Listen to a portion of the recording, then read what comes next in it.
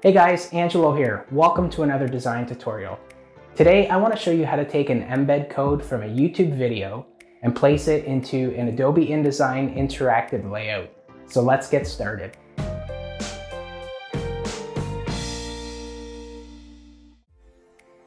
I want to show you a quick and easy way of getting YouTube videos into an Adobe InDesign layout using InDesign's Insert HTML feature.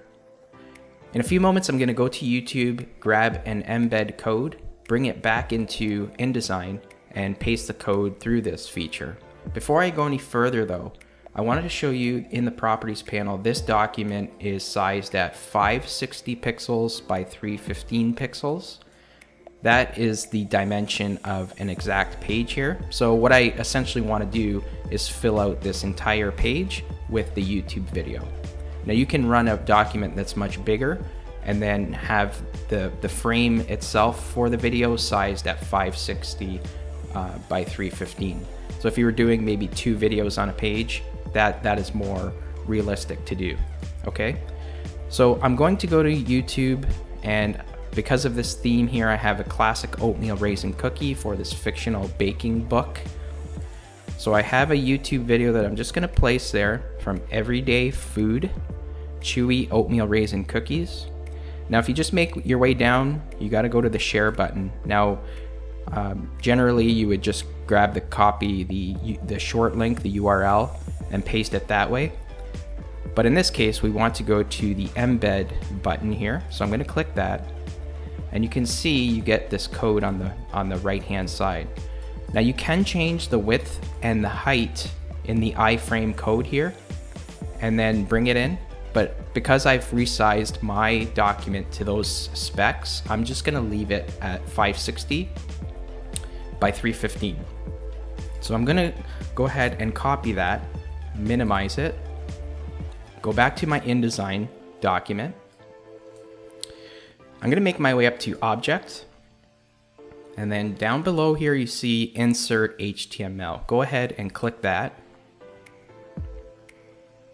That's going to bring up this edit HTML window and you're going to just paste that embed code right into this field and simply hit OK. Now it's going to take a few seconds and then you're going to see this is going to pop up. You're not going to see the YouTube video preview or the cover photo. Um, this is this is actually what you're going to see in the InDesign workspace, okay? And you could see because I've sized the document to that video, it fits really nicely, okay? So if I just make my way and just center the, the workspace there, I can open any of my uh, interactive tools here just to preview it. I'm going to click on the EPUB preview and you can see that it is in there in the preview. You won't be able to see it on the InDesign page itself. So now that I have my YouTube video placed on my page, let's go ahead and publish this online to see how the work looks in a web browser. This can also be published through the file export and using the EPUB fixed layout uh, option. However, this will not work if you're trying to uh, export as a PDF interactive. So just keep that in mind as well. So I'm going to make my way up to the right hand side of my workspace um, and click the share button and then click on publish online.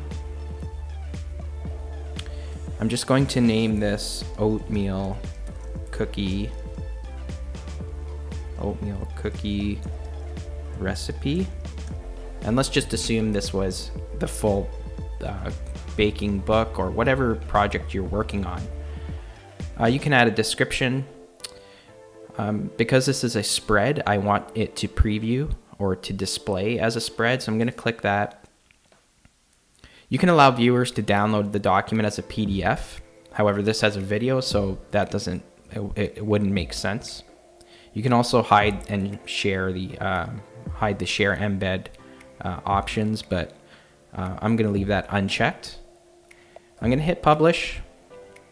And this shouldn't take very long because this is not an actual raw video, it's just an embed code. Um, and I'm going to view the document. So you can see there's the spread, there's the YouTube video embedded. So if I click this link, you still have the option of going to YouTube. Um, you can play it right in here. And so you can see this is a, is a better option as well when you're publishing um, videos from YouTube, but um, also EPUB fixed layout will work as well.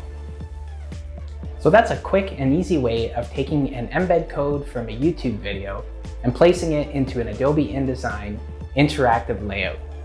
If you enjoyed this tutorial, if you found it helpful, go ahead and give it a thumbs up. Don't forget to hit the subscribe button to get notified when new videos have been uploaded.